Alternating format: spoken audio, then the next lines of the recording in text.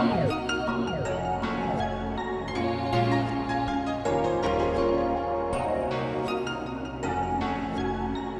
twice. Hello, everybody. Welcome to Tiyonna and What to Do. Today, today I was here with Tomi Balligan. that does.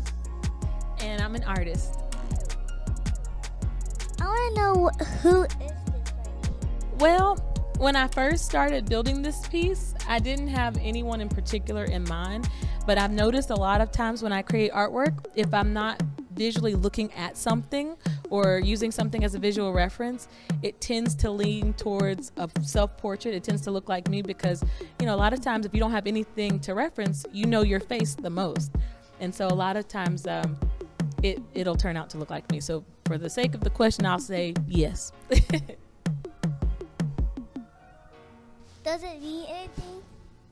It does. Um, I created this piece um, just to reflect the struggle that African American women have sometimes um, in embracing their natural beauty with their hair, especially.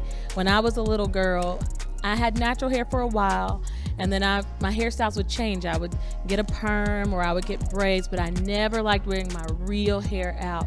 And so this piece here rep- represents how through that change that we are who we are like our hair is a part of our roots it's a part of our heritage it's innately a part of who you are. And so the flowers represent kind of breaking through the ground of that resistance of self-love of loving who you are um, just naturally who you were created with. Nothing added to you nothing taken away How long did it take to make it? Ooh, this one took, um, I would say this piece took approximately three to four months, three to four months to build. And this this piece has a special story behind it. All of my pieces have like a particular story, but with this piece, when I created it, um, I, it was my first time building a human form from clay. And so when I built it, I built it solid. And so um, I had an instructor come and she said, um, We can't fire it, we can't put it in the oven because if we do, it'll explode. And so she told me to start all over again. So technically, this is the second piece. And so when she said that, I had been building it for like maybe several weeks and so i had to demolish the whole thing and start over. And so without knowing how without any instruction of seeing no one teaching me how i had to build this piece literally from the inside out like a vase.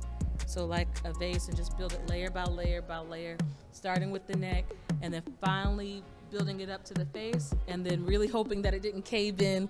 And then we fired it and it didn't explode. And so it's here today How did you think of this idea?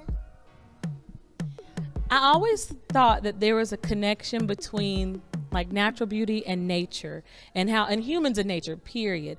And so when i would see braids or cornrows or women with their hair braided sometimes it would remind me like the different designs the way that they looked looked like tree roots and tree branches and how they made different patterns along the ground. And so that's where this kind of came from um, you know this piece is titled branches and braids and so um, this theme you see a lot throughout some of my paintings and it's just that whole you know metaphorical play on you know how we are naturally beautiful women period all women.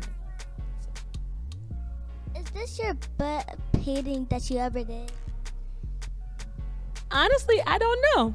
I don't know but it's one of my favorites. I think it's my favorite because to me this represents a struggle because i remember building this whole piece once and then having to demolish it and build it twice so um, I think it's my favorite because at the time when I was building this, a lot of people were telling me, no, it's going to explode. You shouldn't put this on it. That's going to be too heavy.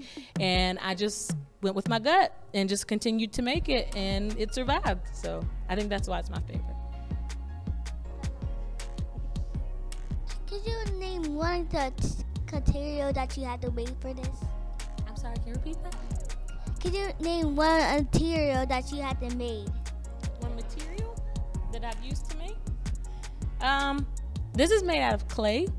And so clay is definitely one of my favorite mediums to work with because it's so forgiving. And I think that has a lot to do with how we as people should be. You know, you can build with clay and it may not turn out the way you want it, but then you can just reform it again and it just continues to shape. And I think in life, that's how we are. We grow. You know, we learn to forgive ourselves through our different struggles. We learn to grow as people. And so I think that's why I like clay. There's just a nice connection there. Oh, well, well, that's it for today, guys. Bye.